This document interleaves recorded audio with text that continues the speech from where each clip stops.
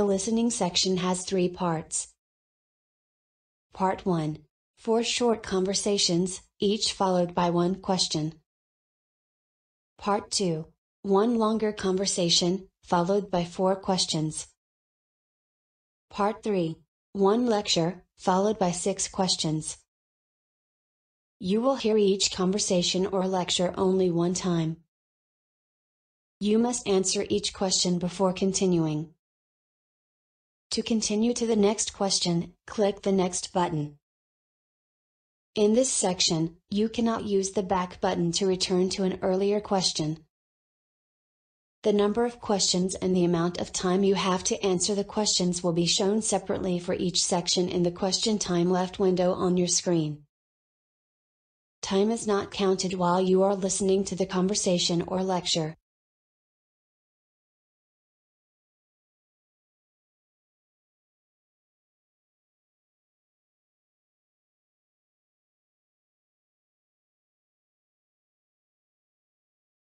One. There's something wrong with the TV. Only channel 17 has a good picture. Maybe the cable vision isn't working. Which channel has a good picture?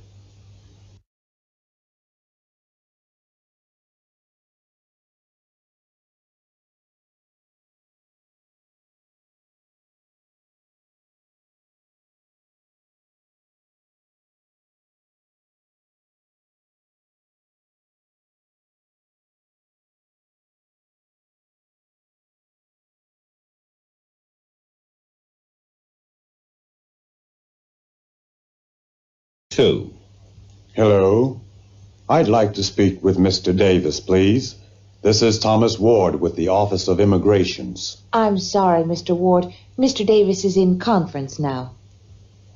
Who works for the Immigrations Office?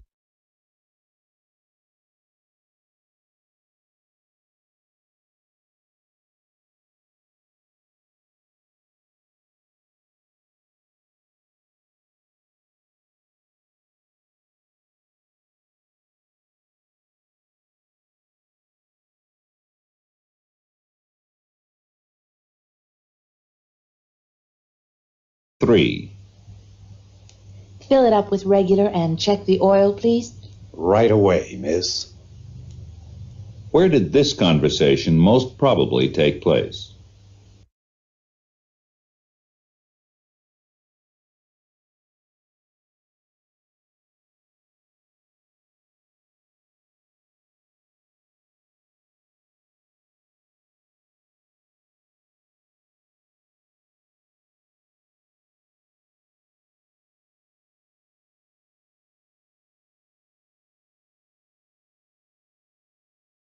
Four. Let's go to the movies after dinner. Well, I'll go if you really want to, but I'm a little bit tired. What conclusion does the woman want us to make from her statement?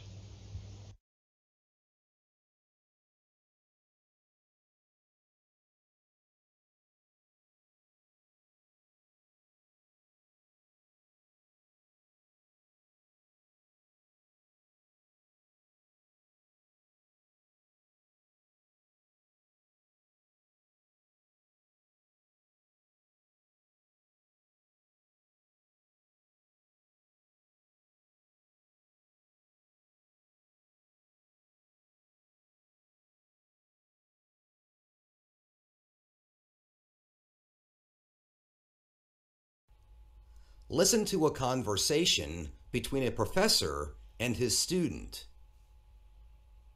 Hello, Michelle. Can I help you? Hello, Professor.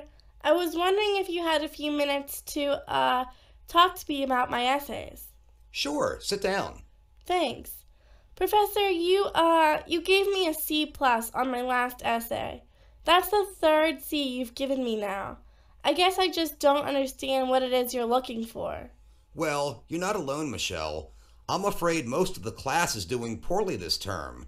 Now, I've tried to explain what I want you all to do several times now, but nobody seems to get it. I guess I'm a failure as a teacher. Huh, I don't think so, but I'm sorry. Would you mind trying one more time with me? I understand that you want to see a clear, efficient development of a thesis and all that, and I thought I'd done it this time. I really did. Have you got your paper with you? Yes, here it is, right here. Let me have a look. Sure, here. Hmm. Yes, I remember now. Actually, Michelle, you have a very good thesis here. I like it. I just wish you could have presented it more effectively.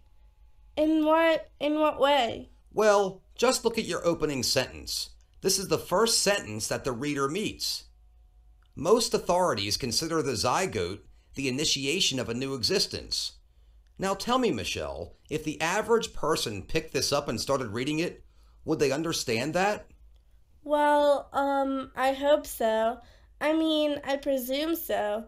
That's what I presumed when I wrote it, of course. Of course, it seems short and direct, but you must remember that when you wrote this, you had been reading and researching your topic beforehand, I hope, but the reader is coming to this cold. How many people know what a zygote is? How self evident is the meaning of a new existence? That's a very abstract phrase. Yeah, I guess so. Michelle, the writer's first duty is to his readership, and his second duty is to his thesis.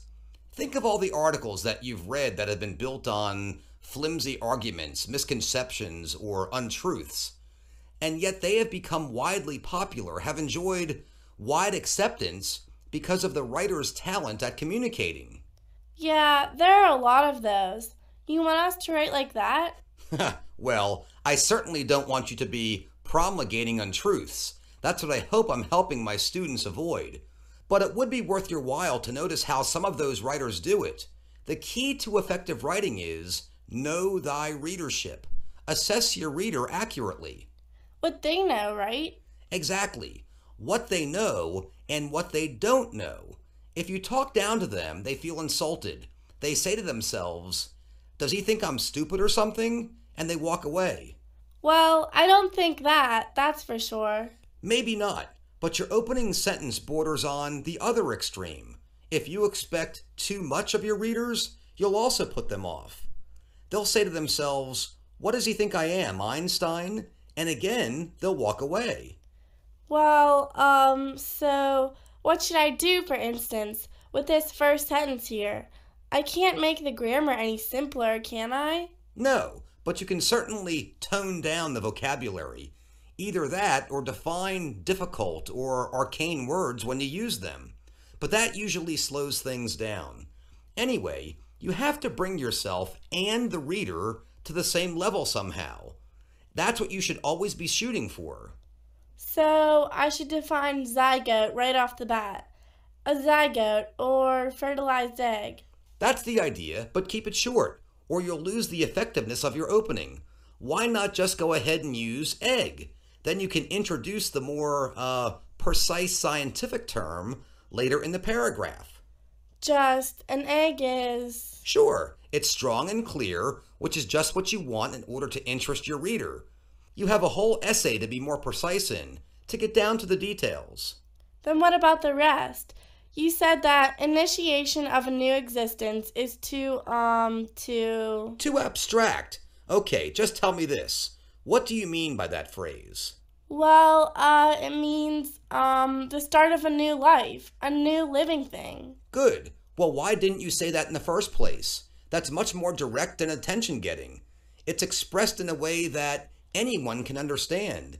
An egg is the start, or the beginning of a new life.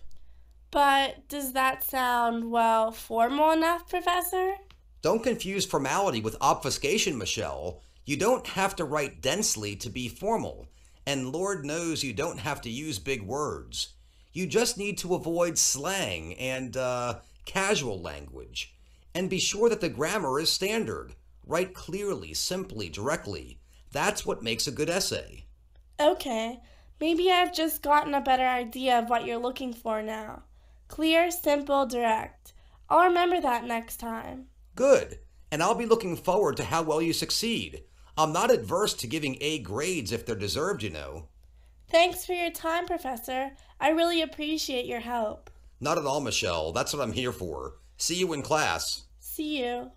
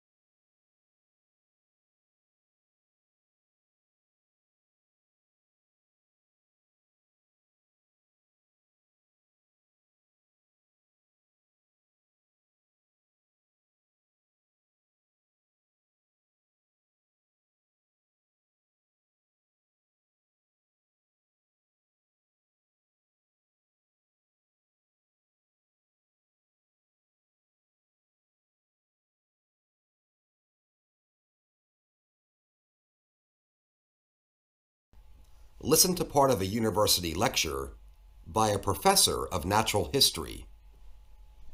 Now, as a part of our study on biological evolution and evolutionary processes, let's look for a few minutes at an extraordinary group of bird species, the birds of paradise. You may have seen pictures of some of these fantastic birds. I think there's one in the next chapter of our textbook. The male birds of paradise are incredibly beautiful creatures. They have extremely elongated and very elaborate sets of many coloured feathers arising from their head and tail and wings, and when the males display for the females during courtship, they can erect and manipulate these feather tracks, waving or shaking or twirling or wiggling these feathers. And at the same time, they often assume very odd postures or do acrobatics, so they put on quite incredible performances to attract females. In fact, the male plumage is so gorgeous that bird of paradise skins have been highly valued trade items for hundreds, if not thousands, of years. The birds of paradise are restricted almost entirely to the tropical jungles of the New Guinea archipelago, to the large island of Papua New Guinea and its surrounding islands. Not only have the Papuan men traditionally adorned themselves with bird of paradise feathers since before history, but these feathers appeared as rare and valuable trade goods in other parts of Asia as long as 2,000 years ago. However, they weren't discovered by the Western world until the 16th century.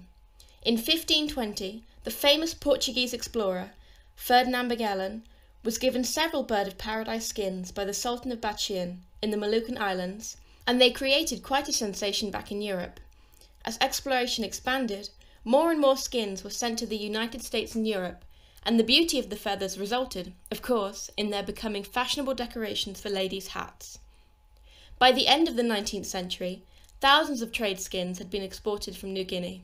Through London alone, between the years 1904 and 1908, 155,000 skins were imported. Luckily, it was about this time that groups, like the Audubon Society and the Royal Society for the Protection of Birds, were becoming active defenders of wildlife and from 1908, laws banning the import of bird feathers were beginning to be passed in many countries. In 1955, the government of Nepal was having difficulty getting new bird of paradise plumes for the royal Nepali crown for the coronation of their new king, Mahendra, until they finally arranged for replacements from an illegal shipment of skins that had earlier been confiscated by the US Customs Service. At last, in 1990, Indonesia itself passed a law banning the trade in bird of paradise skins.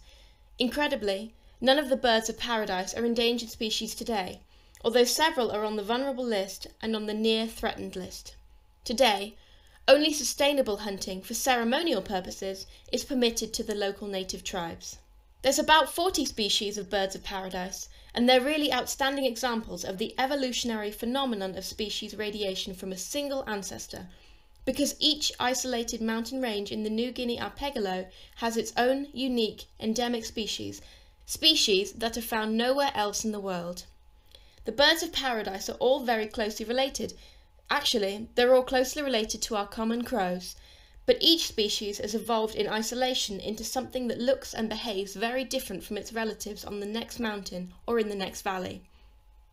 In fact, Elevation is probably the single most important ecological sorting mechanism for the adaptive radiation of these birds into so many different, unique forms. On top of their extraordinary plumage, these birds have also developed a whole range of breeding strategies. A few species are monogamous, which means that one male and one female mate and raise young. But most species are polygamous, where the males try to attract and mate with as many females as possible, and the females raise the young birds alone. Some of these polygamous males perform single, non-territorial displays when they find a female. In other cases, the single male frequents some sort of regular display ground, called a court, where he may clear a space and perform for passing females. And in yet other species, the males gather at distinctive traditional communal display grounds called leks. Here, Many males will compete for female attention and perform as energetically as they can, because the females choose the ones who put on the best show. The native Papuans call these performances sakalele, or dancing parties, and they are truly amazing exhibitions.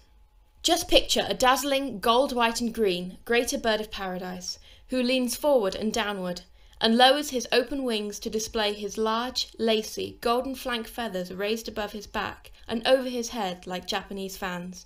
Or the immaculate black and turquoise blue bird of paradise, who hangs completely upside down and flexes his legs slowly and rhythmically to vibrate his long, thin tail feathers for the ladies. This big sequential radiation of behaviours and plumages, as well as similar sequential variations in morphology and feeding habits, is a really rich source of research opportunities for graduate students, and I hope that some of you will have the chance to participate in bird of paradise research during your careers, because they are amazingly beautiful birds with fascinating habits.